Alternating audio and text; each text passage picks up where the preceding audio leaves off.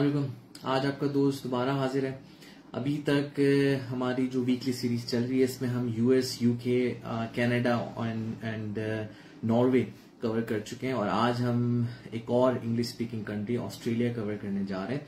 और आज मुझे ज्वाइन करेंगे मेरे दोस्त मोहम्मद फरहान, जो कि ऑस्ट्रेलियन यानी पाकिस्तानी नेशनलिटी के साथ साथ ऑस्ट्रेलियन नेशनलिटी भी रखते हैं। तो आज वो अपना एक्सपीरियंस शेयर करने वाले हैं हमारे साथ। साथ में मैं ये बताना चलूँ कि हमें इस सेशन के लिए स्पॉन्सर किया है ग्रीन हाउस कैफ़े जो कि मेरे दोस्त शहरियार का है।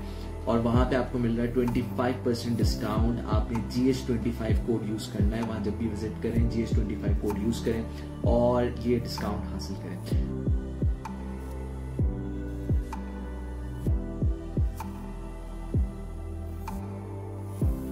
कनाडा से जब मैंने डिस्कस अच्छा यूके में, कनाडा में जो है वो आपको हेल्थ और एजुकेशन जो है वो फ्री है, ठीक है? और सिस्टम जो है वो क्वेश्चनेबल मतलब क्वालिटी ऑफ़ एजुकेशन तो अच्छी है, लेकिन हेल्थ का you know queue long queues और मिल रहा है अपॉइंटमेंट नहीं मिल रहा, और छोटे मोटे मसले दांत में दर्द में दांत में दर्द ही हो रहा है, मर थोड़ी रहे हो तो अब इस तरह की चीज़ें वहाँ कैसी हैं?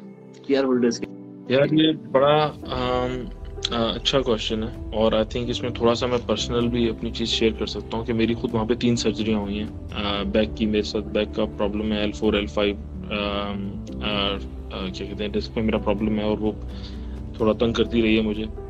काफ़ी 2016 में सर्जरी हुई फिर पेंडेमिक के अंदर अम, 2021 में सर्जरी हुई मेरी। दो सर्जरी हुई एक्चुअली तो मैं पब्लिक सिस्टम के अंदर गया और फिर मैं प्राइवेट भी गया। और ये वाली बात डेफिनेटली है। ऑस्ट्रेलिया का थोड़ा सा फ़ायदा इसलिए रहा है अभी तक क्योंकि आबादी बहुत कम थी और इंफ्रास्ट्रक्चर बहुत अच्छा था तो अकोमोडेट कर गया सिस्टम कनाडा और बाकी यूके वगैरह में ये है कि क्योंकि आबादी वहाँ पे बढ़ी लेकिन इंफ्रास्ट्रक्चर कीप अप नहीं कर पाया। ऑस्ट्रेलिया को ये वाला प्रॉब्लम स्टार्ट हुआ है काफ़ी बाद में, जैसे 2013-14 वगैरह में जब लोग आ रहे थे तो मैं देख रहा था कि वेटिंग टाइम्स और ये वो वगैरह बढ़ने शुरू हो गए। और 2020 आते आते वो शदीद तरीके से बढ़ गए। और फिर वहाँ पे फ़र्क ये पड़ा कि आपका सबब कौन सा अभी खाली हॉस्पिटल की बात कर रहे हैं स्कूल की बात आई थिंक में करते हैं। तो अगर आप किसी महँगे सबब में रह रहे हैं, जिस सबब की एवरेज हाउस प्राइस लाइक से साढ़े तीन मिलियन डॉलर या तीन million dollar Aussie Aussie dollars होगी तो वहाँ पे ऑब्वियसली आपकी हेल्थ फैसिलिटीज़ पब्लिक सिस्टम की भी बहुत अच्छी हैं, क्योंकि वहाँ पे हर कोई प्राइवेट अफोर्ड भी करता है, जाता है तो पब्लिक में जगह भी होती है।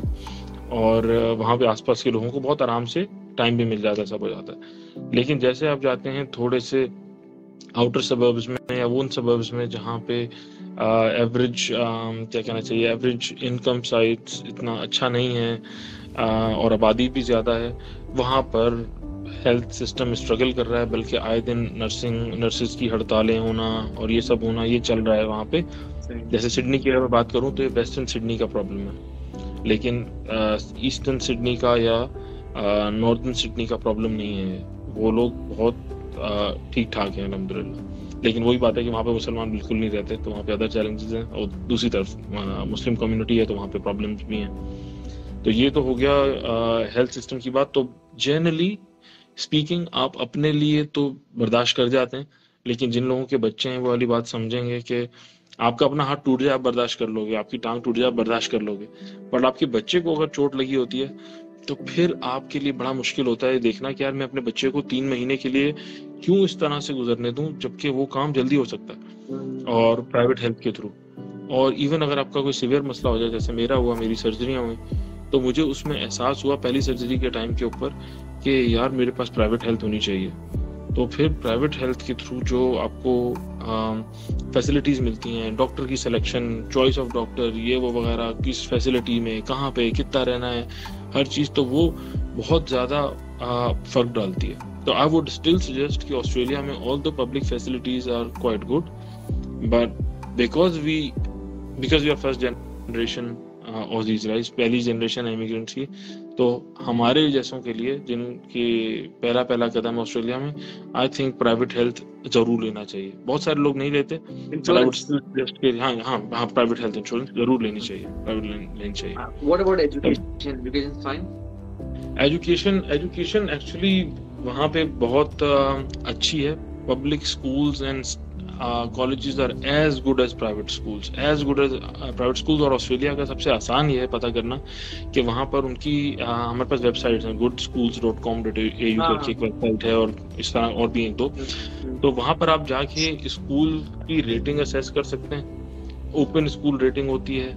आपकी डिफरेंट uh, डिफरेंट और दो तीन तरीकों से रेटिंग होती है। जैसे किस सोशियो इकोनॉमिक बैकग्राउंड के बच्चे आ रहे हैं वहाँ पे पढ़ने के लिए ये भी रेटिंग है।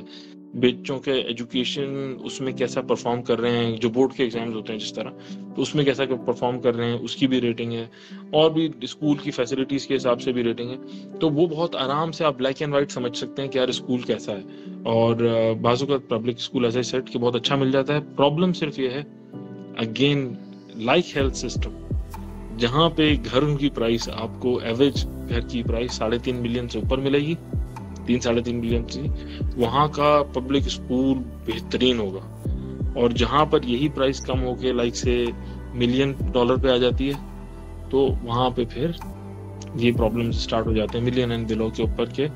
वहाँ पर इतने अच्छे स्कूल नहीं होते तो वहाँ पे आपके पास फिर ये होता है कि आपको प्राइवेट स्कूल में डालना ही पड़ेगा। और सिडनी की अच्छी बात यह वहाँ पे इस्लामिक स्कूल्स बहुत अच्छा कर रहे हैं।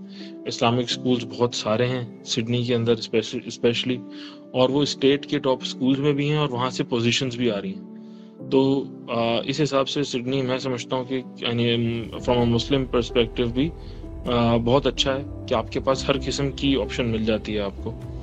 और आ, हाँ तो I think generally this is where I would conclude my conversation जैसे यूके के अंदर ऑप्शन क्या है कि भाई एलजीबीटी में कुछ लोग कंफर्टेबल अगर नहीं हो तो पढ़ाने के लिए तो वो कैथोलिक स्कूल की तरफ़ चले जाते हैं ईयर थ्री ऑनवर्ड्स तो ऐसी कोई है ऑप्शन है? मतलब आप अगर आप उस करिकुलम से नहीं है मुतमईन तो आप एक दूसरे करिकुलम चले जाए। आई थिंक ब्रिस्बेन और मे बी मेलबर्न के नॉर्दर्न सबर्ब्स या नॉर्दर्न सिडनी में आप कह लें अगर आप वहाँ रह रहे हैं तो फिर शायद आप कैथलिक स्कूल की तरफ़ जाना चाहें which is I mean okay दो वहाँ पर भी अब कैथलिक स्कूल्स के अंदर तो थोड़ी ज़्यादा एक्सेप्टेबिलिटी है इवन जो दूसरे ऑर्थोडॉक्स क्रिश्चियंस के स्कूल हैं, वो थोड़े इस चीज़ के बारे में ख्याल कर रहे हैं। कैथलिक्स आर क्वाइट लीनियंट तो वहाँ पे थोड़ी बहुत चीज़ें स्टार्ट हो गई तो आई थिंक वो उनके लिए एक ऑप्शन ज़रूर है। बट अगर आप सिडनी में जनरली रह रहे हैं तो आई थिंक आपको एक अच्छा इस्लामिक स्कूल मिल जाता है। कहीं पे भी मिल जाता है। प्राइमरी स्कूल प्राइवेट प्राइवेट होगा private private Islamic school private Islamic school आराम से मिल जाता है आपको अच्छा वाला। अगर आप सिडनी में रह रहे हैं इवन मेलबर्न में रह रहे हैं तो मेलबर्न की भी मेलबर्न में भी आपको मिल जाता है। लेकिन हाँ ब्रिस्बेन वगैरह के अंदर ये कि थोड़ी सी ऑप्शंस लिमिटेड हैं दो तीन स्कूल हैं and they are not that good either कि उतने ज़्यादा अच्छे नहीं हैं। लेकिन जैसे मैं बता था कि पोजीशन आ जाती है आपकी सिडनी के इस्लामिक स्कूलों से। तो वैसा नहीं है वहाँ पे but still you have an option और एलजीबीटी का प्रॉब्लम ज़्यादा इशू आई थिंक किसी टाइम पे तो आना ही है आपको, क्योंकि बच्चों ने यूनी जाना है। और जब भी वो यूनिवर्सिटी जाएँगे तो वहाँ पे उनको यार आएगा ही। और फिर उन्होंने एम्प्लॉयमेंट में भी जाना है। जैसे मैं भी यहाँ से जिस एम्प्लॉयमेंट जिस एम्प्लॉय की, जिस एम्प्लॉयर के लिए काम कर रहा था तो वहाँ पे every Friday was wear a purple day तो आपको पहना है फिर मेरा पीपल मैनेजर रोल था तो वहाँ पे ऑब्वियसली और आपकी ऑब्लिगेशन आ जाती हैं। यानी आपको अपनी टीम में जहाँ कल्चरल डाइवर्सिटी देखनी है जेंडर डाइवर्सिटी देखनी है, वहाँ पर आपको ओरिएंटेशन डाइवर्सिटी भी देखनी है कि आपके पास इस रिप्रेजेंटेटिव का भी कुछ ना कुछ सैंपल होना चाहिए। तो तो बहरहाल आई थिंक इट्स इवेंचुअली अगर आपने वहाँ पे रहना है तो आपको ये समझना पड़ेगा कि आपको भी रेडी रहना है और आपको बच्चों के लिए भी मेंटली रेडी होना है कि eventually at some point they'll get the exposure is all you can do is कि आप उनको थोड़ा रेडी कर सकें, अपने पार्ट पे, अपनी ऑब्लिगेशन आप तभी कर सकते हैं, जैसे 18 साल हम बोलते हैं। तो जितनी समझ देनी है आपने 18 साल तक आप इस्लामिक स्कूल भी अवेलेबल है आपके पास आपके पास बाकी सारे फोरम भी हैं, और आप उनसे जोड़ें और क्या कहते हैं, अपना बच्चों को ट्रेन करें।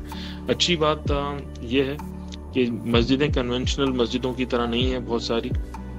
स्पेशली आई थिंक जो हमारे यहाँ पे इस नशरी वाले हैं उन लोगों के लिए स्पेशली मैं बोलूँगा उन्होंने बहुत ज़्यादा अच्छा काम किया इस पर बाकी आ, बाकी सेक्ट्स भी कर रहे हैं कि उसमें आपके जो स्कूल्स हैं उन स्कूल्स के साथ ही आप उन्होंने जो है स्पोर्ट्स की भी चीज़ें जोड़ दी हैं बच्चों के लिए और दूसरी एक्टिविटीज़ जोड़ दी हैं प्ले एरिया वगैरह बना दिया है। तो बड़ा अच्छा होता है कि वो किसी ना किसी तरह बच्चों को अट्रैक्ट करते हैं कि यार बच्चे स्कूल बच्चे मस्जिद से जुड़े और नाइट मैचेस हो रहे हैं मस्जिद के अंदर ही हो रहे हैं वहाँ पे या table tennis table tennis tournament चल रहा है। तो आई थिंक ये चीज़ें हैं कि जिससे बच्चे जुड़ जाते हैं इवेंचुअली अगर अपने अगर माँ बाप इंटरेस्ट ले रहे हैं तो बच्चे भी जुड़ जाएँगे। बट बस यार बहुत बहुत शुक्रिया। बहुत अच्छा इन्फॉर्मेटिव सेशन रहा सब लोगों ने एंजॉय भी किया कमेंट से पता चल रहा है। तो आ, कुछ लोग होते हैं जो बाद में भी सेशन देखते हैं और बाद में भी कमेंट्स कर रहे होते हैं यानी क्वेश्चंस होते हैं कुछ क्वेरीज होती हैं। तो if you come across any तो please try to help them out कि जो भी क्वेरी है उनको रिस्पॉन्स हम कर सकें। Uh, अच्छा और बहुत बहुत शुक्रिया फॉर योर टाइम वीकेंड का टाइम चुराया हमने आपका। और uh, इनशाला और by the way this session sponsored by green house cafe हमारे दोस्त शहरियार असलम का है। और उसका नया कैफ़े बिल्कुल जेबस यूनिवर्सिटी के बिल्कुल सामने बनाया है और and he is offering 25% discount to the family members of I cap members as well as जो भी uh, मेरे फॉलोअर्स हैं थोड़े बहुत। ठीक है तो उनको भी G S twenty five to twenty five percent discount दे रहा है तो प्लीज़ आप भी जाएँ अपनी फैमिली को भी भेजें thank you so much thank you so much Nabeel thank you so much बुलाने के लिए और बहुत अच्छा रहा एंड हाँ बिल्कुल एब्सोल्युटली एनी टाइम और इवन इमिग्रेशन से रिलेटेड कुछ होगा तो I know a few people तो I can I can definitely guide them कि वो वहाँ जा सकते हैं. Thank you so much for your time चलिए ओके बाय